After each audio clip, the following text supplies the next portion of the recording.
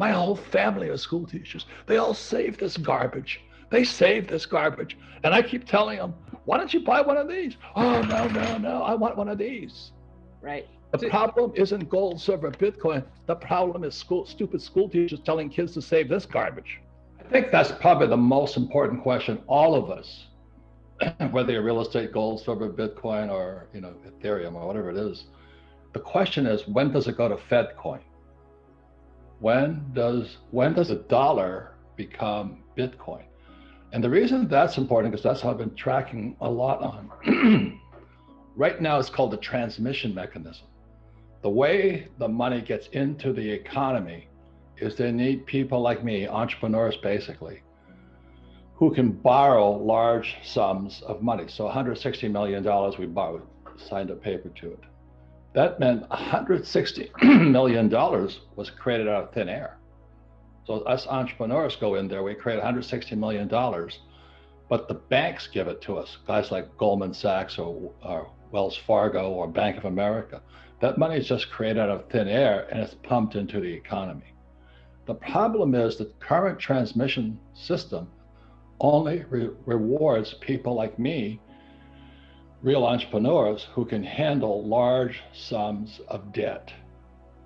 You see, without people like me who borrow money, or the CEOs who borrow money to buy back their stock, money doesn't exist. So the people who are whining and complaining, you know, mostly school teachers, they're saying, well, how come the rich are getting richer? Well, they don't understand the, tra- the transmission mechanism, excuse me, of money. So I have to borrow money for it to come into existence. And most school teachers can't even afford a credit card. So if all you have is a credit card, they don't need you. And then they're going to charge you exorbitant rates for that stupid credit card. Or they're punishing kids with student loan debt or payday loans. So the transmission mechanism is the current banking system, Wells Fargo, well, uh, the hedge funds and all that. If it goes to Fed coin or Euro coin or Yuan coin or Yen coin, the banks are gone.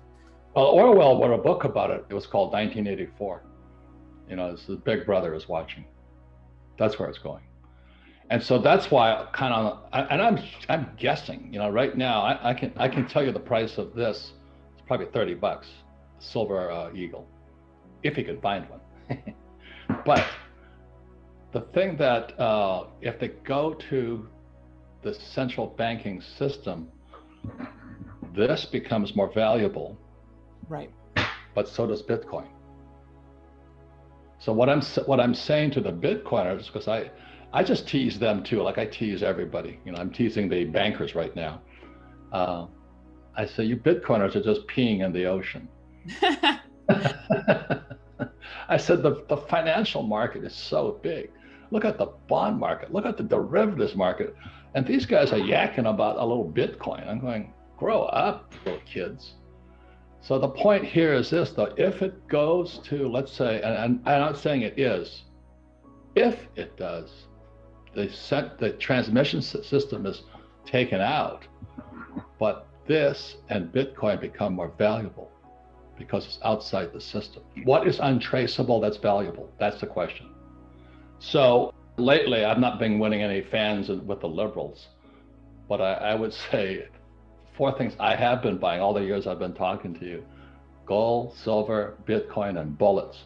I have made more money on bullets now because I am a Marine. You know, I, I fought in Vietnam twice. I carry full automatic weapons. I don't carry an assault weapon. I carry a machine gun. And legally, they're called class threes. So all these years I've been buying machine guns. And the trouble with the machine guns, they eat a lot of bullets. You know what I mean? I mean, a Glock 19 or what do those guys carry, the gangbangers carry, you might fire eight bullets in a minute. My machine guns, I've stepped them up from 850 rounds a minute to 1100 rounds a minute. So I was going through ammo at high rates of speed. So I would go to the gun shows, this 20 years ago, and I'd buy pallets of ammunition. Today, I look like a genius. you can't buy bullets either. And now they want to register them. Now they want to put some kind of doge, know, some mark on every bullet so they know who, who killed who. The thing is, is what has value is not traceable. That's the question. That is really the question today. So that's if it goes to Fed coin or Euro coin or El Salvador coin, what will have valuable no matter what and is untraceable by technology. Last night I was having dinner with a friend of mine. She lost everything. Her, uh, I, I didn't understand how she stored it, but she's upset. She had 700,000 in it. Well, it wasn't her, it was fake money anyway. But she said, now I'm broke. Somebody took her wallet or something and she can't find it. So she went to the Phoenix Police Department. they said, What? You want us to look for a piece of electronic money? I, Danielle, absolute truth. That was last night. I'm talking to her. She's crying her eyes out. She said, Now what do I do? I said, I don't know. You should have bought some silver. Oh, yeah, absolutely.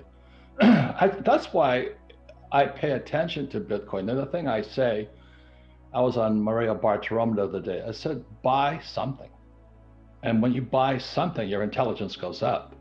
But right now, you're sitting on the sidelines. It was it Dogecoin? Is this? And you don't know anything. So just buy something, and then your intelligence increases. Exactly. That's that's about all I can say to people. Buy something, start, figure it out. But I would prefer gold because this is God's money. Silver is God's money, and this is getting scarcer and scarcer and scarcer because it's used in technology and this stuff doesn't get scarcer, but it's going into hoarding now. So that's, that's why I say it's booms, bust, or mania. We're hitting mania right now, Danielle. Mania. And our school teachers are still telling kids, oh, this is 10, someday the government will pay $10 million. That's how stupid school teachers are. My whole family are school teachers. They all save this garbage. They save this garbage. And I keep telling them, why don't you buy one of these? Oh, no, no, no, I want one of these. Right. The problem isn't gold, silver, Bitcoin. The problem is school, stupid school teachers telling kids to save this garbage. Well, You're- again, the, the real problem is the Fed, the Treasury, Biden, and Wall Street. Because you know, they all work together. The question is, when you step back and look at it, if we don't have inflation, we have depression. So they're terrified right now. They have got to do everything possible to pump as much money in to keep this fake balloon floating. That's why it's booms, busts, or mania. So this trying to keep this hot air balloon in the sky. If there is deflation, this thing comes down.